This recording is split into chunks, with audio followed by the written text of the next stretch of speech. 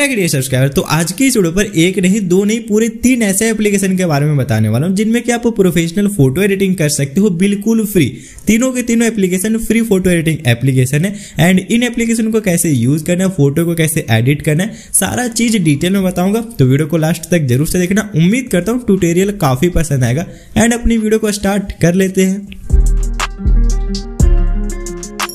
सो first application हमारा Polish editor ठीक है? इसके ऊपर आप टैप करोगे, कुछ ऐसा इंटरफेस आएगा। अब यहाँ पे फ़ोटो के ऊपर आप सिंपली सा क्लिक करना, अपने फ़ोटो को सेलेक्ट करना एंड उसके बाद हमें यहाँ पे एडिटिंग टूल देखने को मिल जाती है, ठीक है? अब इसमें जो इंपॉर्टेंट है ना, उसी के बारे में हम बात करेंगे। जैसे कि यार ये फ़िल्टर फ़िल्टर तो इंपॉर्टेंट नहीं है। आप तो जानते हो फ़िल्टर पहनने के बाद हमें काफ़ी सारे फ़िल्टर मिलेगा, कोई यूज़ कर लेंगे, ठीक है?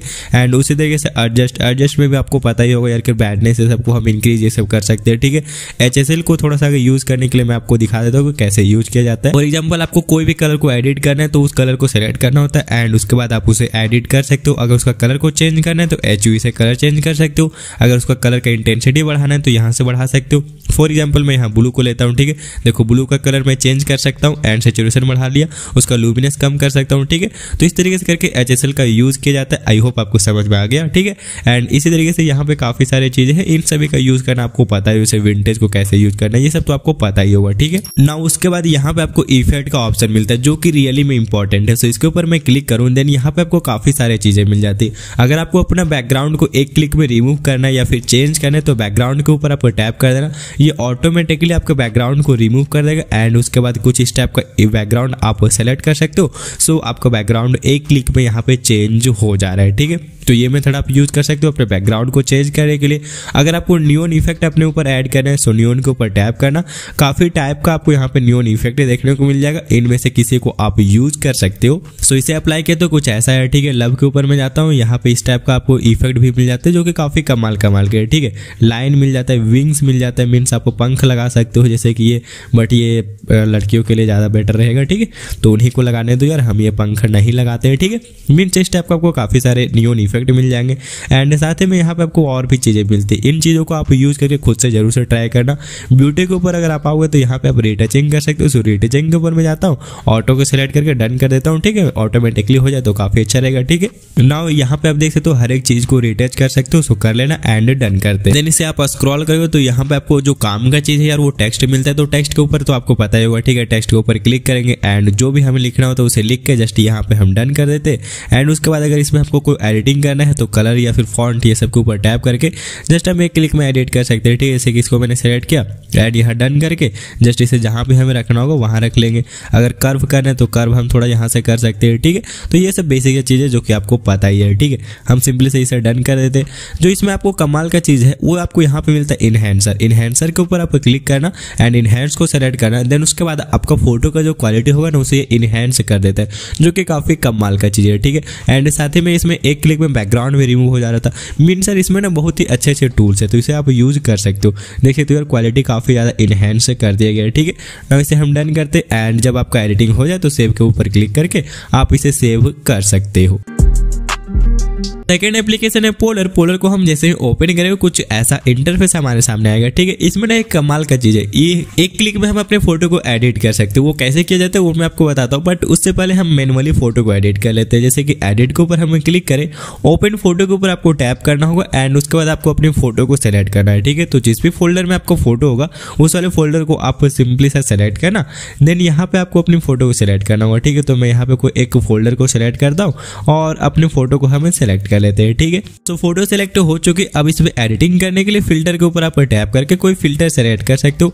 ये फ़िल्टर कहाँ से आते हैं? ये मीन्स डायरेक्टली अगर आप देखोगे ना तो आपको नहीं मिलेगा, ठीक है? ये फ़िल्टर को ऐड किया जाता है। सो कैसे ऐड किया जाता है, ये मैं आपको बताने वाला हूँ बट थोड़ा देर में ओके उसके बाद यहाँ पे आपको एडजस्ट का ऑप्शन मिलता है, ठीक है? एडजस्ट के ऊपर आप जैसे ही क्लिक करोगे, आपके सामने बहुत सारे टूल देखने को मिलेंगे।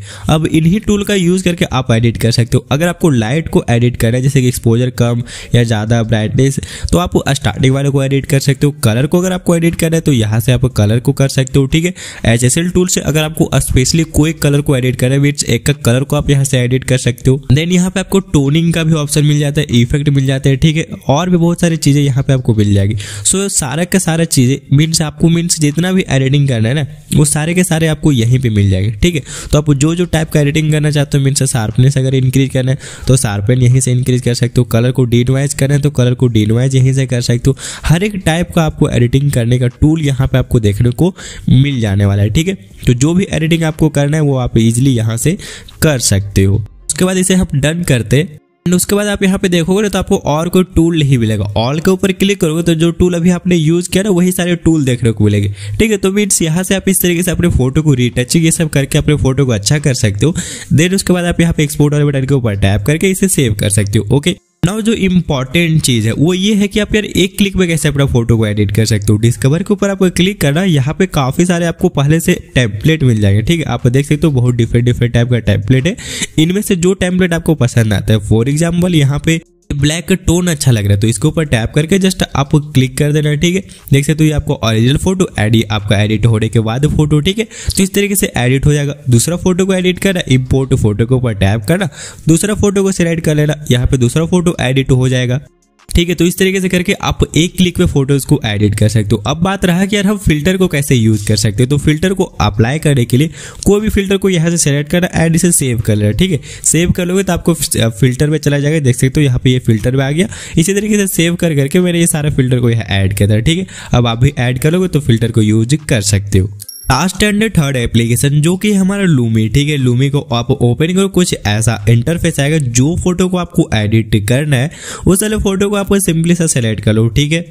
सेलेक्ट करने के बाद आपके सामने बहुत सारे ऑप्शन देखने को मिल जाएँगे। जैसे कि यहाँ पे फ़िल्टर फ़िल्टर में यार आपको पता ही होगा, ठीक है, यहाँ पे काफ़ी सारे हमें फ़िल्टर मिलेंगे, जो अच्छा लगेगा, उसे हम अप्लाई कर लेंगे। जैसे कि ये वाला काफ़ी अच्छा लग रहा है, सो हम इसे अप्लाई कर सकते हैं। अभी बहुत सारा टूल हमें देखने को मिल जाएँगे, जैसे कि एडजस्ट के ऊपर अगर हम क्लिक करें तो यहाँ पे आपको पता ही होगा एडजस्टमेंट कर सकते हैं, ठीक है।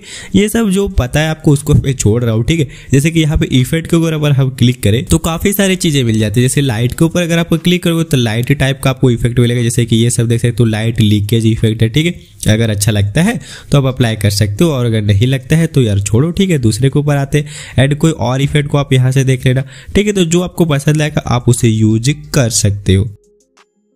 बेसिकली ये वाला काफ़ी अच्छा लग रहा है बट इसे ना थोड़ा सा स्काई में अगर रहे तो और अच्छा लगेगा। सो यहाँ पे मैं एडजस्ट करके जस्ट डन करता हूँ, ठीक है?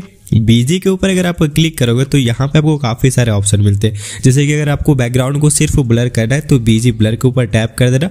थोड़ा सा यहाँ पे टाइम लेगा एंड बैकग्राउंड को ब्लर कर देगा, ठीक है?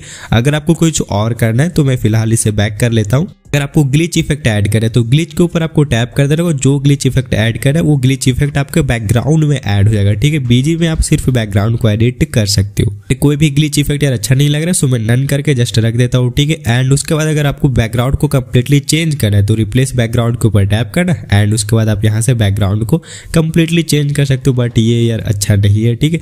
मीन्स जो हमारा बैकग्राउंड था, वही काफ़ी सही है सो इसलिए हम जस्ट यहाँ पे डिलीट कर देते हैं एंड ओरिजिनल के ऊपर हम आ जाते हैं, ठीक है? देन उसके बाद अगर आपको स्टॉक या फिर इफ़ेक्ट ये सब ऐड करना है तो इफ़ेक्ट के ऊपर टैप करके आप इसे ऐड कर सकते हो। जैसे कि आप यहाँ पे देख पा रहे हो, इस टाइप का अगर इफ़ेक्ट आपको ऐड करना है, कोई सा भी सेलेक्ट करके आप यहाँ पे सिंपली से ऐड कर सकते हो, कुछ भी इफ़ेक्ट है, ठीक है?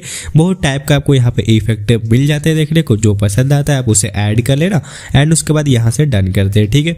देन उसके बाद आपको टेक्स्ट का ऑप्शन मिलता है। तो टेक्स्ट से तो आपको पता ही होगा यार कि हम यहाँ पे कुछ भी टाइप कर सकते हैं। बेसिक के ऊपर क्लिक करोगे तो यहाँ पे आपको फॉन्ट एंड कलर ये सब देखने को मिलेगा। एंड फीचर के ऊपर क्लिक करोगे तो यहाँ पे आपको थोड़ा डिज़ाइन देखने को मिलेगा, ठीक है? तो जो चीज़ आपको एडिट करना है अच्छा लगे, आप उसे सिलेक्ट कर सकते हो, ठीक है? देन डन करते ना उसके बाद यहाँ पे आपको स्टिकर का ऑप्शन मिलता है तो काफ़ी टाइप का आपको स्टिकर यहाँ मिल जाएगा देखने को। जो पसंद आएगा, उसे सिंपली से आप यूज़ कर सकते हो, ठीक है? तो यहाँ पे आप देख ही सकते हो और कितने डिफरेंट डिफरेंट टाइप का स्टिकर है, ठीक है? जो पसंद है, आप उसे यूज़ कर लेना। बॉर्डर के ऊपर क्लिक करेंगे तो बॉर्डर हम यहाँ ऐड कर सकते हैं, जैसे कि ये बॉर्डर है। अगर कोई कलर ऐड करना है तो कलर भी हम ऐड कर सकते हैं, जो कि काफ़ी अच्छा लग रहा है, ठीक है? तो इस तरीके से करके आपको यहाँ पे हर एक टूल मिल जाता है, उसका यूज़ करके आप एडिट कर सकते हो। एंड यहाँ आप देख सकते हो और काफ़ी अच्छा हमारा फ़ोटो एडिट हो चुका है, ठीक है? नाउ एडिट हो जाए देन उसके बाद एक्सपोर्ट के ऊपर टैप करके आप यहाँ से इसे एक्सपोर्ट कर सकते हो, ठीक है? तो इस तरीके से करके आप इसमें भी एडिटिंग कर सकते हो। आई होप आपको हर एक चीज़ समझ में आएगा एंड तीनों का तीनों एप्लीकेशन मस्त एप्लीकेशन है।